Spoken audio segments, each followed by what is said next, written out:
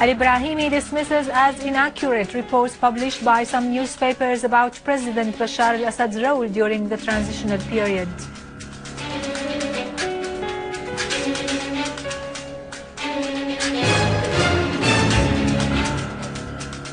The UN Secretary General stresses that Syria has respected all the deadlines set for dismantling its chemical weapons.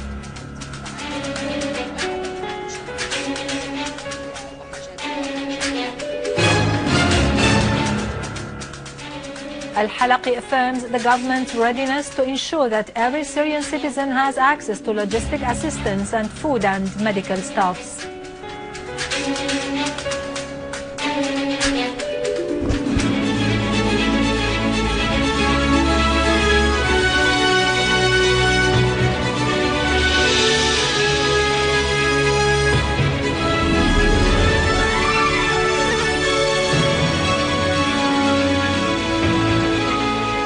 Good afternoon, ladies and gentlemen. I'm Irado Krikorian from the News Center in Damascus. The UN envoy to Syria, Al-Akhdar al-Ibrahimi, continues his visit to the country on the last leg of his tour in preparation for the International Geneva II conference on Syria.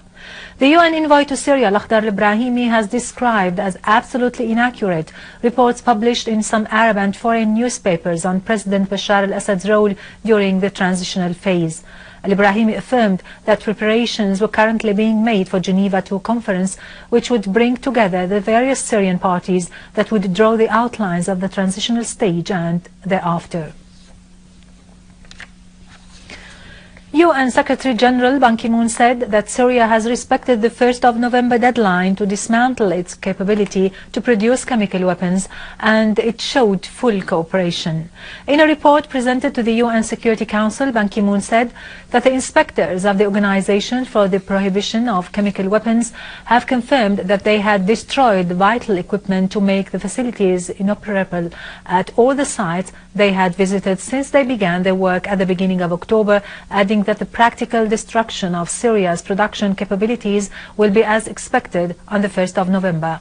The UN Secretary General's statement came after the Organization for Prohibition of Chemical Weapons asserted that last Thursday Syria had handed it over the initial official announcement of its chemical weapons program, affirming that there is a continuous strong cooperation with the Syrian government. The Iranian Foreign Ministry spokeswoman Mardia Afkham has affirmed that her country adopts a principled stand to solve the crisis in Syria within a permanent political framework that supports the Syrian people's right to self-determination. During her weekly press conference today, Afkham referred to the UN envoy to Syria, Al-Akhdar al-Ibrahimi's visit to Tehran, saying the visit came to prepare the necessary ground for the Geneva II conference. She described al-Ibrahimi's meetings with Iranian officials as constructive and positive. She added that al-Ibrahimi has affirmed the need of Iran's participation in such conference, underlining the need of the participation of all concerned sides in the effort to reach political solution in the country. And Afkham also recalled that Iran, since the beginning of the crisis in Syria, has opposed all kinds of military intervention, affirming the need of a political solution in the country. Iranian Chief of Staff Major General Hassan Fayrouz Abadi has said the American administration is committing grave mistakes and the events in Syria have proved that American calculations are incorrect. Fayrouz Abadi said the return to the logic of freedom and equality among individuals and the move within the framework of international laws and rights constitute the right road that American officials should pursue. He criticized the statements of some American officials and the way they regard their country's interests, particularly concerning the spying operations carried out by the American intelligence throughout the world.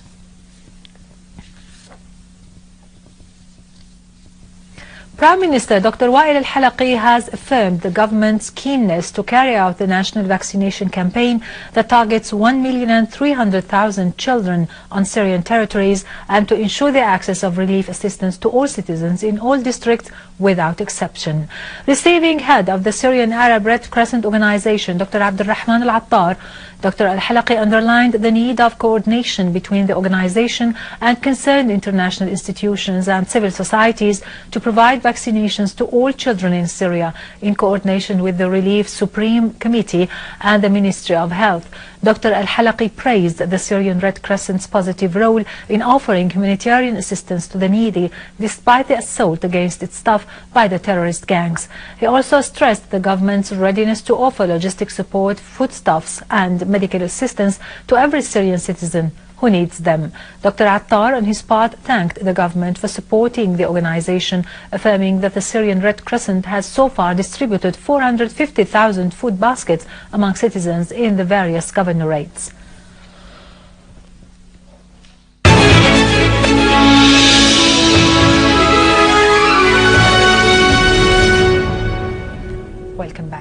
The Syrian Arab Army has cleared Sadat village in Homs suburb, some territories from terrorists who had wreaked havoc and spread terrorism in the area. In Idlib suburbs, the Syrian Arab Army has thwarted an attempt by terrorists to infiltrate into Abu Zuhur airport, killing and wounding a number of them. The army also targeted terrorists gatherings in Haftalak, Hashhamout, Al-Rami and Al-Za'lana.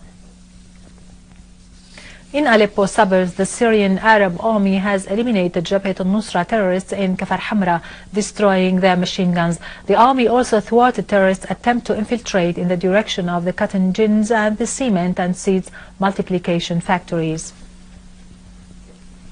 In Deir ez-Zor, the Syrian Arab army continues its advance in Al-Rushdiya neighborhood after eliminating terrorists that were held up in some buildings. The Syrian Arab army has achieved a qualitative progress in Al-Rushdiya after repelling, in cooperation with the civil defense forces, an attempt by terrorist groups to infiltrate into the area. The operation resulted in killing many terrorists and clearing the buildings where the terrorists were found near the Agricultural Bank, including Burj Salalim buildings opposite to the former Faculty of Arts, Burj Al Mustafa and Burj Said at the Towers area where the terrorists had planted explosive devices before fleeing away.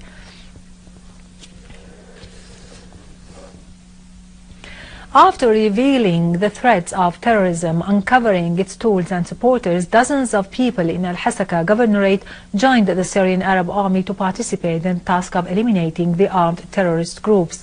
The new joiners were welcomed and politically rehabilitated. They were trained to use all kinds of weapons, each according to his specialization, and they were deployed in military units. Some of those newcomers had been kidnapped and tortured by the armed terrorist groups, but they returned with more determination to fulfill their duty in defending their homeland against terrorism. The Interior Ministry of Kyrgyzstan has announced the death of one of its citizens who was fighting with terrorists in Syria. The ministry said the young man was from Kezalkia city in the province of Batkenks, south of the country, added that he had infiltrated into Syria last spring to fight there with three others from the so-called Islamic group members.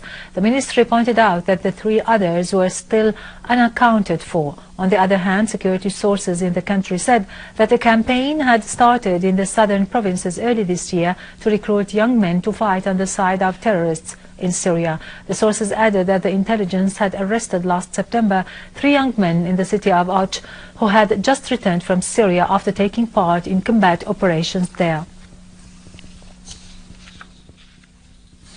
Finally, Hezbollah Secretary General Sayyid Hassan Nasrallah asserted that an acceptable solution for the crisis in Syria is only political and the way for it is dialogue without preconditions, pointing out that all the talk about an international conference on Syria in Geneva, regardless of the conditions and details, opens a new horizon to achieve solution.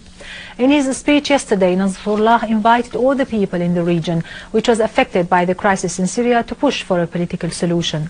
Nasrallah said that those who hinder the political solution are well known, noting that Saudi Arabia is very much angry for what's happening in the region, and this is not a secret. It has attracted tens of thousands of fighters from all parts of the world, provided them with weapons and financed them with 30 billion US dollars so far, in addition to the provocations it has presented in media.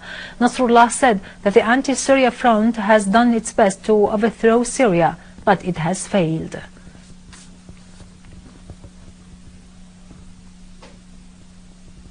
With this, we end our news for today. Thank you for watching. For more details about Syria and the region and to view this bulletin again, you can always visit our website in English, syriaonline.sy.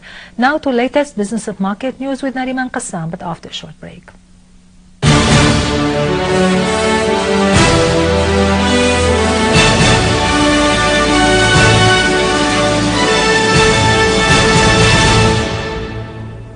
Ladies and gentlemen, good afternoon. The Cabinet has approved a proposal by the Jewelers Assembly to produce Syrian golden coins. According to international standards, with a weight of 8 grams for each 21 karat golden coin, noting that the production process should be done in the licensed craft institutions.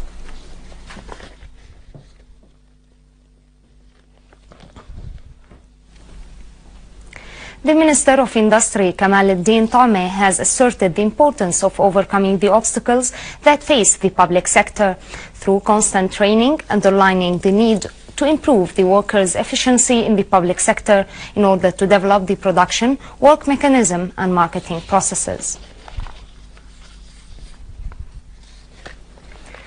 The weekly trading value of Damascus Securities Exchange has increased reaching about 6.6 million Syrian pounds distributed on 53 deals with a total bulk of 45,000 shares.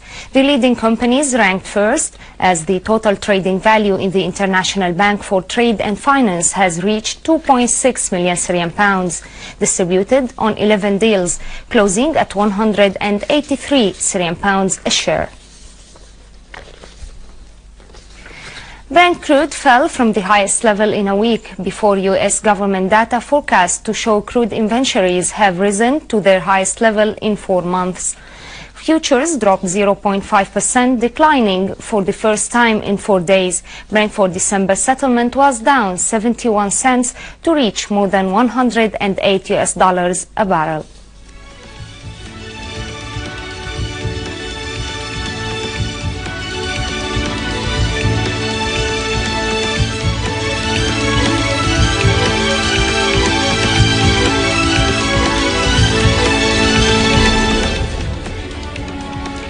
U.S. stocks rose, leaving the Standard & Poor's 500 index poised for the best annual gain since 2003. European stocks also rose as the Federal Reserve began a two-day meeting.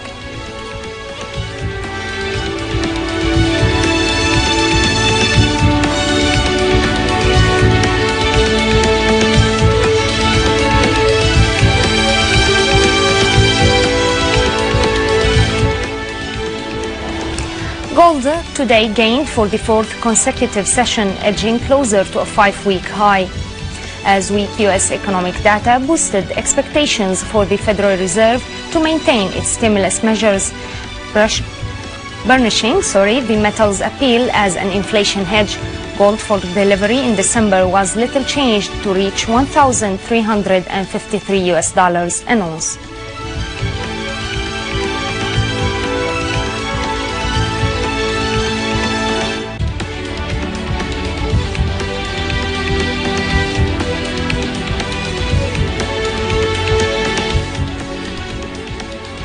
The yen strengthened for the first time in four days against the euro as improving jobs and retail sales in Japan diminished the case for more stimulus by the central bank, which meets this week. On the other hand, Japan's currency rose versus all of its 16 major counterparts.